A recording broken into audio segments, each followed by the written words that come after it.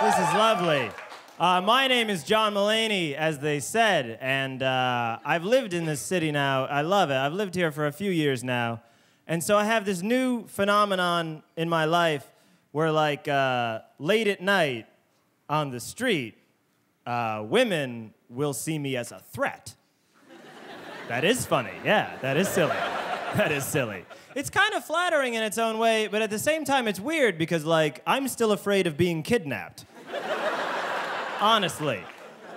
But I'll give you the best example of this. Uh, a few months ago, I was at a subway station at 2 o'clock in the morning, all right? And at this station, I'm changing trains. And you have to walk down this long hallway in order to change trains. So it's 2 o'clock in the morning, it's just me and this woman, and we're walking along, and she's walking a few yards ahead of me. But she keeps giving me like, uh, like the over the shoulder, like that, you know?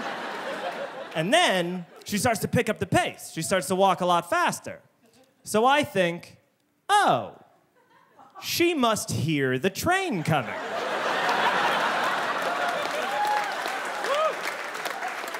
or, you know, maybe she feels it in her feet like a Native American. So I start to, I start to sprint down the hallway at her, and she looks back and she's like, ah! And then she gives chase, right? So now we're booking it down the corridor at two o'clock in the morning, and I'm gaining on her. I'm gaining on her, and we're getting to the end of the hallway, and she starts to go into that like dead end shuffle, you know, that women do when you chase them. And I'm almost at her. I'm almost at her, and then it dawns on me oh, she's running from me. Because in her eyes, I'm an adult. And adults rape each other.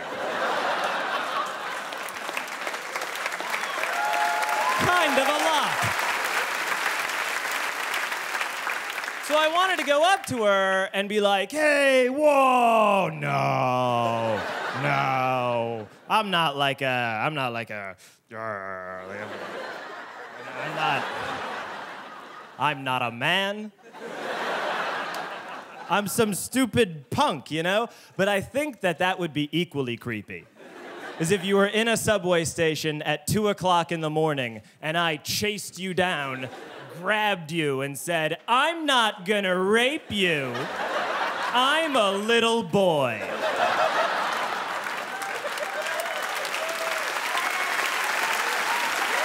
Not good either.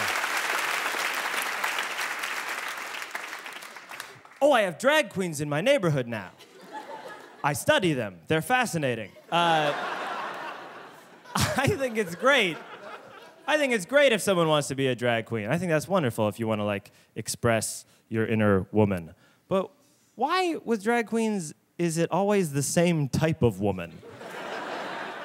Like why is it always like a big and brassy woman with like a beehive hairdo and alligator skin shoes? It's like what is your notion of a woman based on? A housewife in a Far Side cartoon?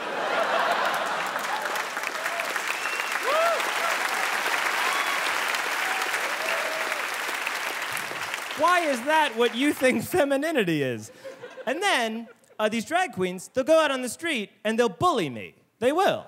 They'll be like, oh, look at him in his little shirt. It's like, why are you mean? You know? Why is that part of it for you? And it's not little, it's a medium. Small is little. You went, you went through all the trouble to put on a nice dress, and now you're gonna be rude and bossy to people? It's like, do you know what your version of a lady is a lot like? A guy. You could have stayed a guy if you were gonna be an ass about it. Yes. Get angry.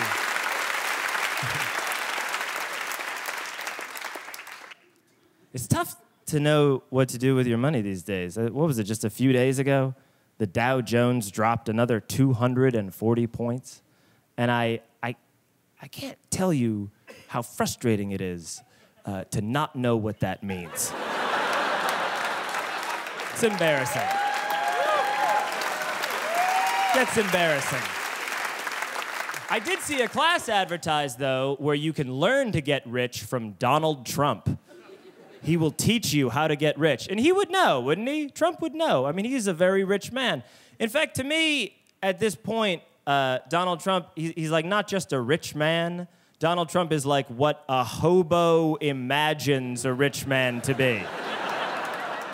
You know, it's like he was walking through an alley one day and he heard some guy just like, oh boy, oh boy.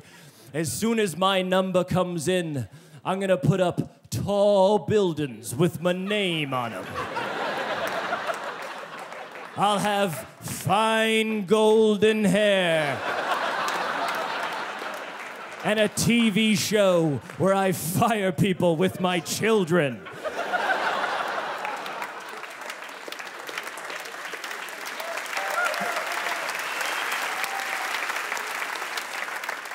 Trump was just like, that is how I will live my life.